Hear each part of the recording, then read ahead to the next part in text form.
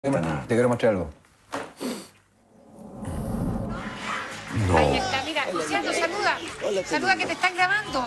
Los abuelos, la mami, todo. No te puedo creer. Por un baby.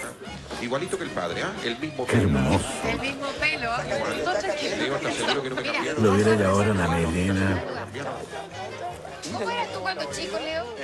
Ah, con la Paulina. Luciano, aunque tú no lo creas. Ya. Era tal vez con el pelito un poquito más oscuro, pero era crespito. Claro que me pelaba. Ya. Pero si tú me preguntas por carácter, era súper eh, activo, desordenado, eh, contestador, bueno para la broma. eh, era, era bien chiquillo. Bien O sea, loco, podría haber trabajado en televisión. De más, de más. Oye, y no, no vas a tener nada que decir cuando Luciano haga de la suya. Las estoy pagando ahora, Paulina. Mi mamá dice eso, vas, vas a pagar tú las cosas que tú me hiciste a mí. ¿Y tú, tú cómo eras cuando chico? Ah, oye, era tan rico ese cabro. Bueno, ahora me parece que fue, fue ayer que andaba por acá con esos rulos. po. ¿Te ha pasado que no te das cuenta cómo crecen? Impresionante. Tu hijo hoy día tiene 23 años, 22 años. 22 para 26. ¿Tú cómo eres como papá? Yo creo que soy como las pelotas.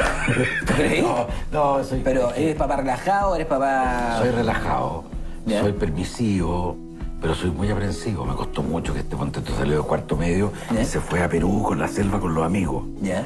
Y yo quedé, pero mal, mal, mal, mal, mal. Entonces tengo que estar viéndolos, saber dónde están. Pero de a O poco. sea, ah, es buena esa mezcla, porque tú eres permisivo en términos de que, de que sean libres pensadores. que hagan lo que quieran, que piensen lo que Pero quieran, que estudien lo que quieran. dónde están. Pero eres aprensivo de, que te gusta tenerlos cerca. O sea, sufro mucho cuando no sé dónde están. Sufro mucho que les vaya a pasar algo. Esta época de pandemia me ha venido de perilla.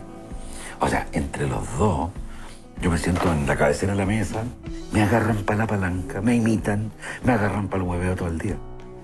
Entonces dicen que yo estornudo de una manera y me imitan. Y que digo, eh, güey, ¿para qué hablar como argentino? Yo tengo un tono así, papá, eh, bueno, tendrás que ver. Entonces, y me imitan los güeyes y se ríen de mí. Mira, el mayor baja cuando tiene hambre. No es porque tú estés acá que no quieran bajar. Ya, ya. El otro o está jugando con 20 amigos en línea, o está con la polola, o está trabajando, estudia por mateazo. Mi mujer trabaja todo el día. Está con la cuestión de las reuniones virtuales, qué sé yo.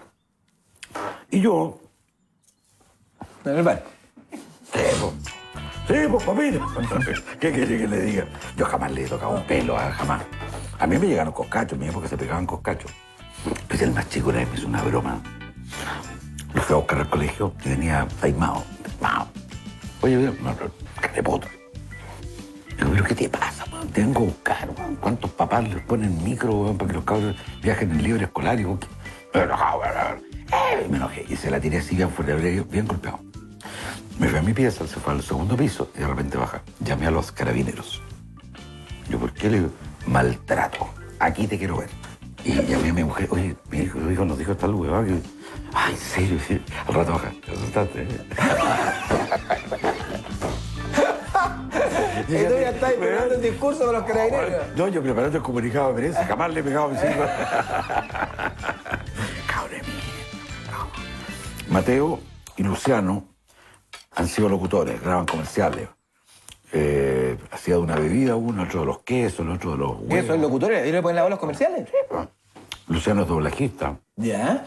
Y habla todo así. Caracoles, Martín, qué gusto verte.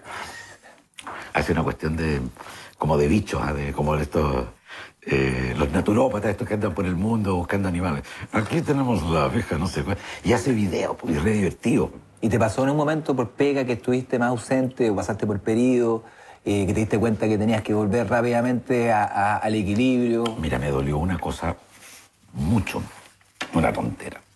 En el colegio se hacía una jornada de viaje, un- hacíamos un, un fin de semana de camping. Ya. Las familias, con los niños, los hermanos, todo. Y nos íbamos a los muelles. Y yo tenía una cantidad de pega que no podía renunciar. Cuando vuelvo, ¿cómo lo pasaste? ¿Qué sé yo? Mal. Yo era el único hijo que no tenía papá que le armara la carpa. Oh, me mató. Me mató. Me mató. Al año siguiente borré esa fecha del calendario. La grabé apenas se supo. Y había pegas, no las tomé, no las tomé. Estaba hablando de cuatro o cinco años. Y dije, este momento tengo que darle una sorpresa, tengo que matarlo. Y me renté una camper. Y llego a la casa, vamos. ¡Oh, qué loco! Entonces en el camino íbamos parando, en la calera, a echar benzina, a comer algo. Y se van sumando cabros chicos. Que se iban subiendo a la cama. Claro, si era, la- era- claro, era, era un portaaviones. po. Entonces llegamos al, al camping, monté la cuestión y entraban a mirar, pum, pum, entraban a mirar. Genial, nunca fue más feliz ese cabrón. Creo que pagué la culpa. El papá es un héroe y el héroe se le cayó. ¿A qué me dolió, weón? Me dolió mucho. Pero nunca más. Ahí está el papá para lo que quiera. ¿Tú te acuerdas del día que, na- que nació Luciano? Sí, por supuesto. Sí, eso fue el 13 de septiembre del 98.